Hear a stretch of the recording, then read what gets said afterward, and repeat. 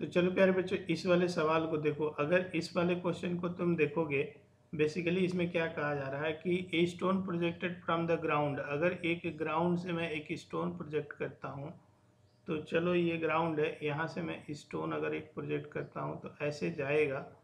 और let us its velocity is something like this you कहता है at angle theta is equal to thirty degree तो इधर वाली कहता है it cross a wall three second मतलब एक यहाँ पर वॉल है, ये यहाँ पर कहीं पे भी बना सकते हो, तुम्हारी मर्ज़ी, ये वॉल है, और इस वॉल को क्रॉस करता है तीन सेकेंड बाद।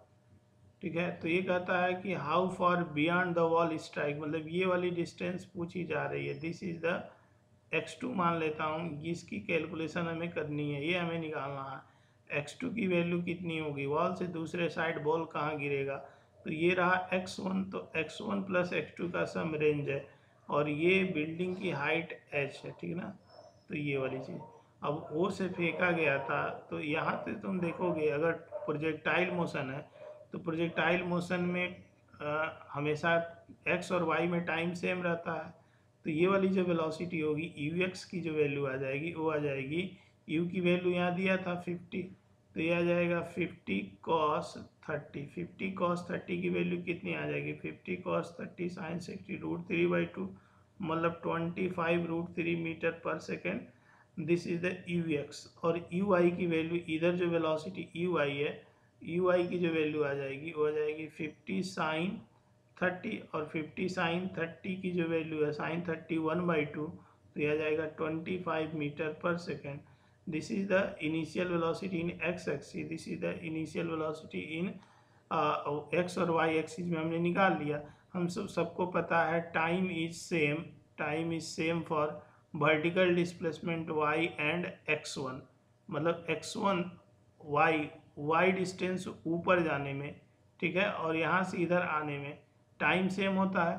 तो टाइम सेम होगा तो इसका मतलब ये हुआ कि मैं एक्स वन निकाल सकता हूँ। X one is equal to distance is equal to speed multiplied by time T क्योंकि एक्स एक्सिस में एक्सलेशन क्या होता है? ज़ीरो होता है।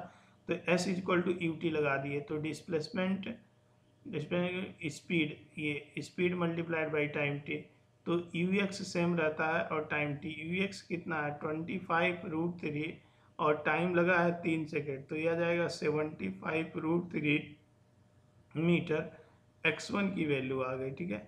और यहाँ से ये दिया हुआ है X one plus X two का सम ऑलरेडी रेंज के बराबर है। और रेंज का फार्मूला मुझे पहले से याद है two U square sine theta cos theta over G या इसको मैं ऐसे भी लिख सकता हूँ two times U X U I और डिवाइडेड बाई जी ऐसे भी लिख सकता हूँ इसको, ठीक है? तो अगर मैं यहाँ से तुम देखो तो यहाँ से यू एक्स और एक्स वन की वैल्यू मुझे पहले से पता था। एक्स वन मैं पहले यहाँ निकाल लिया हूँ।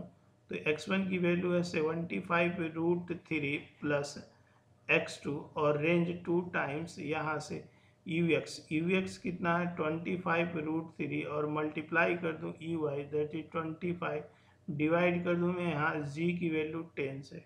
ठीक है? तो अगर मैं इसको देखता हूँ तो ये कितना हो जाएगा?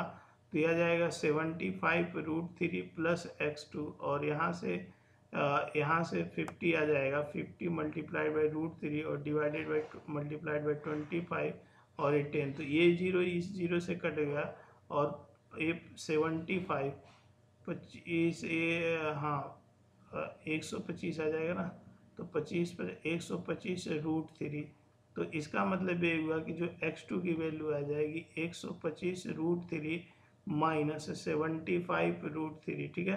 तो एक सौ पच्चीस रूट थ्री यहाँ से तुम देखोगे तो पच्चीस इधर हो गया, पचास रूट थ्री। तो पचास रूट थ्री अगर तुम देखोगे तो fifty multiplied by root three की वैल्यू रखोगे तो one point seven three two तो ए अप्रॉक्सीमेटली कैलकुलेशन आ जाएगा eighty six point six metre, ठीक है? This is the final calculation that is C option सही है।